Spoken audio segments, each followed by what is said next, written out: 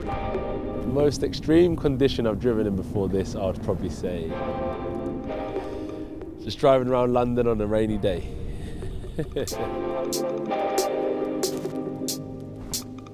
For me to enjoy this time out is so important. Take myself away from the normal hustle and bustle of London.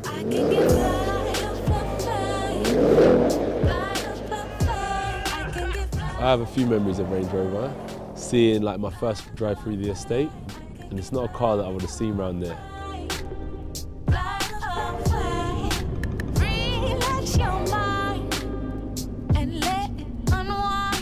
I see Range Rover as an inspirational car.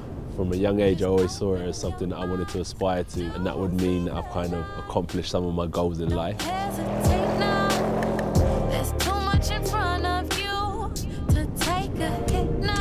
And then my second memory was when my Range Rover actually was delivered. We had an SV autobiography and it came in two-tone. Really ticked a box for me. It's a one of a kind. They designed these cars for all terrain and going through the Range Rover experience out here has been phenomenal.